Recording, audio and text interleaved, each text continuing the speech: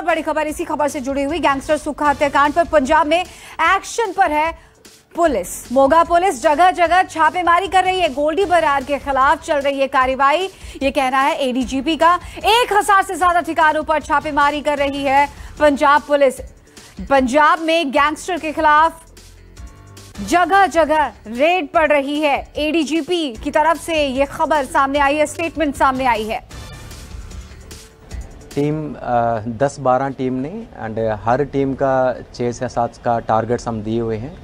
And ये operation city Moga में ज़्यादा है एंड बाकी सब डिविजन से हमारा उसमें थोड़ा से कम है बट पूरे ज़िला में ये ऑपरेशन अभी हो रहा है। सर एक गैंगस्टर सुख दुन्ने की, की डेथ की खबर आ रही है कत्ल हुआ है सर उसके बारे में।